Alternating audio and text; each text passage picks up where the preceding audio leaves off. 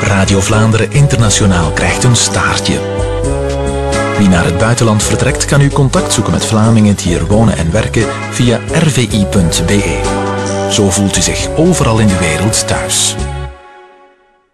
Radio Vlaanderen Internationaal, thuis in de wereld.